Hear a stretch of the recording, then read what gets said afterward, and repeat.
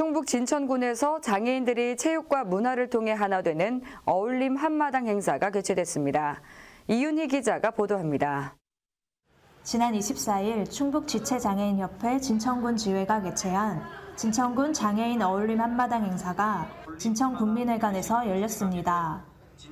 진천군 장애인 어울림 한마당 행사는 해마다 장애인 체육활동 활성화를 위한 체육대회로 진행되어 오다 올해 처음으로 장애인 노래자랑 및 장기자랑으로 진행되었습니다. 아, 이번 기회가 진천군을 통해서 전국으로 확대되어 장애인들이 좀 더 문화활동에 나설 수 있는 그런 계기가 됐으면 좋겠다라는 생각으로 이 행사를 추진하게 되었습니다.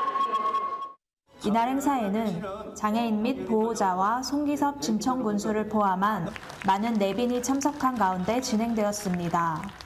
오카리나 연주를 시작으로 신앙송과 최규화 지회장의 대사와 송기섭 진천군수, 주인점 충북 지체장애인 협회장의 축사가 이어졌습니다. 오후까지 이어진 행사는 12명의 본선 진출자의 경연과 초청 가수의 공연으로 참석자 모두가 하나 되어 즐기는 시간을 가졌습니다.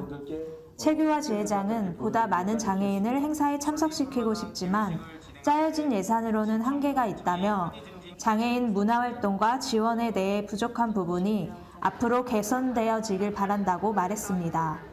복지TV 뉴스 이윤희입니다.